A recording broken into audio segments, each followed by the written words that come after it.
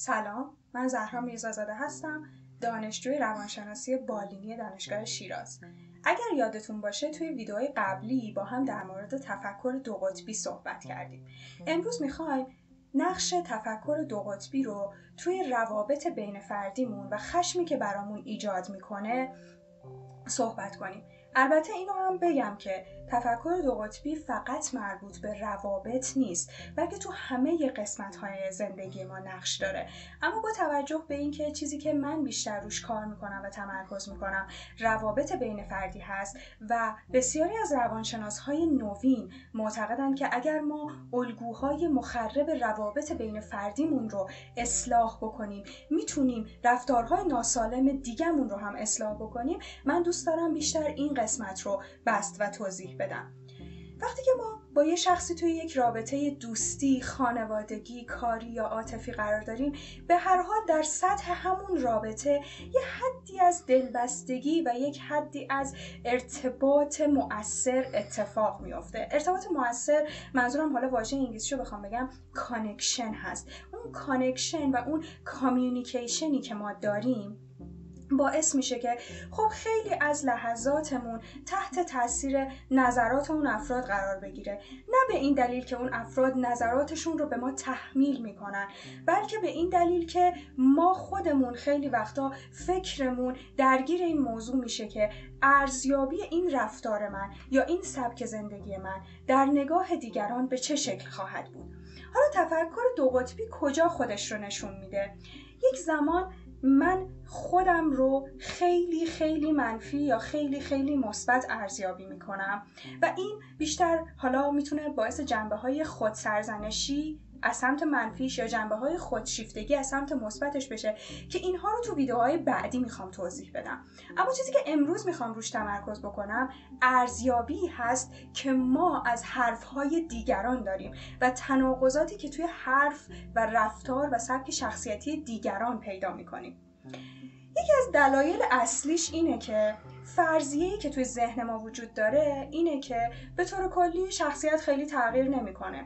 توی ویدیو قبلی هم گفتم آره خب خیلی احتمال میدن که تغییرات شخصیت از نظر کمی خیلی خیلی کم باشه حتی در طول عمر اما این تغییرات از نظر کیفی زیاد هستند و تحت تاثیر عوامل بافتی و فرهنگی خیلی زیادی قرار می گیرن مخصوصا وقتی که ما توی یک جامعه و توی یک بازه تاریخی زندگی می کنیم که اتفاقات آسیبزا و تروماهای زیادی هم برامون اتفاق میافته. حالا شما فکر بکنید که ترکیب ژنتیک محیطی که توش زندگی می‌کنیم تروماها و پیامهای فرهنگی چقدر می‌تونه شخصیت ما رو تغییر بده.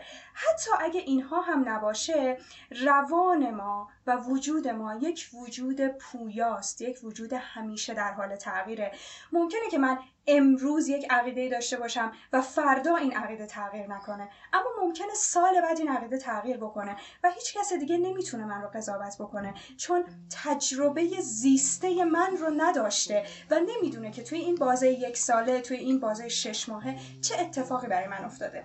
حالا چه چیزی در ما خشم ایجاد می‌کنه؟ این که من یک زمانی یک فیدبکی از یک شخصی در مورد رفتار خودم یا در مورد عقیده خودش گرفتم. مثلا با یک شخصی توی ارتباط کاری بودم و اون شخص به من گفته که تو توی ارتباط کاریت خیلی هیجانی هستی. به نظرم بهتر مقدار هیجانات تو بیشتر کنترل کنی. یک سال بعد همون شخص رو من توی یک محیط کاری متفاوت می‌بینم که خودش داره از هیجاناتش استفاده مثبت می‌کنه توی کارش و اتفاقا خیلی هم موفقه. و اونجاست که این سوال برای من پیش میاد و این خشم در من بروز می‌کنه که چرا یک آدم یک زمانی من رو مورد ارزیابی منفی قرار داد و باعث شد که شرمگین بشم باعث شد که احساس ارزشی بکنم. اما امروز خودش داره همون کار رو انجام میده.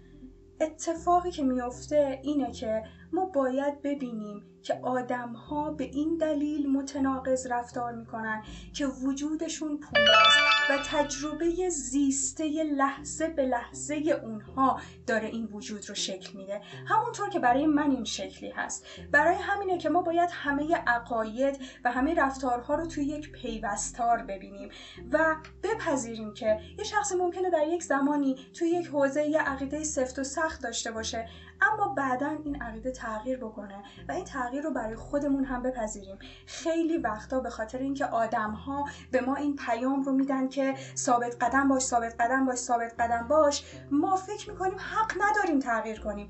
درونمون داره بهمون به یه شواهدی میده که آقا این روش زندگی الان دیگه اشتباهه الان دیگه برای تو کار نمی‌کنه.